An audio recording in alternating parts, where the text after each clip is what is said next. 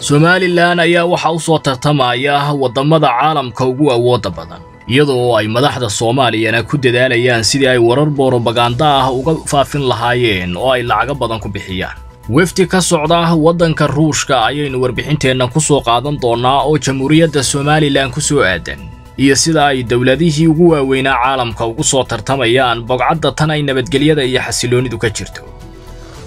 somalilan oo bogcad muhiima ku taalla nabadgelyo iyo xasilooni baahsanina ay ka jiraan ayaa caalamku wakhtigan xaadirka ah fahansan yahay.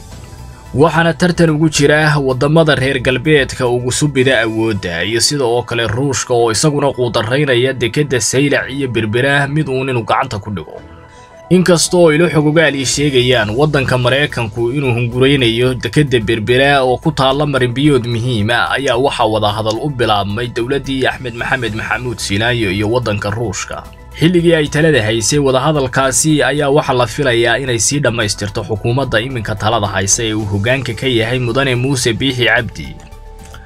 wefdi ballaadhan oo ka socda waddanka ruushka ayaa la soo werinayaa inay ku soo wajahan yihiin wakhtigan xaadirka ah waxaana ay u socdaan dhammaystirka heshiiskaas qabyada ahaa ee u socday somalilan iyo ruushka. Iyadoo ruushku uu quudaraynayo dekedda magaalada saylac oo iyaduna ku taalla marinbiyood muhiima inuu ka dhigto saldhig military. Kadib markii uu waayey saldhig uu ku lahaa waddanka suudaan sannadihii aynu soo dhaafnay waddanka ruushka oo tartan kaga jira waddamada geeska afrika ayaa waxa uu doonayaa dekeddii u beddeli lahayd mid suudaan uu ku lahaa.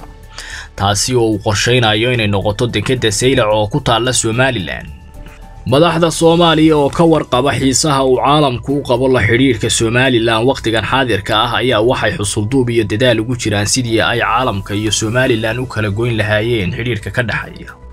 waxaana ay tallaabooyinku raad joogitaan iyo sida oo kale xidhiidh baabi'ina ka bilaabeen waddamada maraykanka iyo ingiriiska kuwaasi oo ay adeegsanayaan saxaafadooda lacag badanna ku bixinayaan.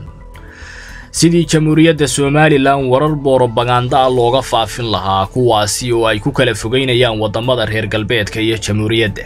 Madaxweynaha dhowaan uun la doortay ee xasan sheekh maxamuud oo safar ku tegay waddanka maraykanka ayaa waxa uu ku raad joogay xidhiidhka u dhexeeya somalilan iyo maraykanka inkasta oo uu ku guuldaraystay muster xasan sheekh maxamuud hase ahaatee waxa uu ku soo bixiyey lacago badan warbaahinta reer galbeedka kuwaasi oo somalilan ka qoraayay maalmihii ugu dambeysay warar borobaganda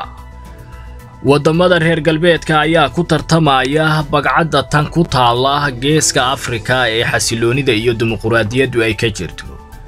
dhowaanna waxaa la filayaa saldhigga uu ka samaysan doono waddanka ruushku magaalada saylac inuu suurto galo oo ay sii dhammaystirto xukuumadda madaxweyne muuse biixi cabdi heshiiska ruushka iyo somalilan u dhexeeya. Ka farxi ehelkaaga asxaabtaada iyo qaraabadaada. Oo la soo deg abka dahabshiil si aad si fudud lacag ugu dirto. Marka aad la soo degto ablicathonka dahabshiil ee aad lacag ka dirayso isticmaal koorka khadmad la'aanta ee tree free oo kuu sahlaya in saddexda jeer ee ugu horreeya ee aad lacag dirayso aan wax khadmad ah lagaa qaadin dahabshiil howlfudaydiyahaaga maaliyadeed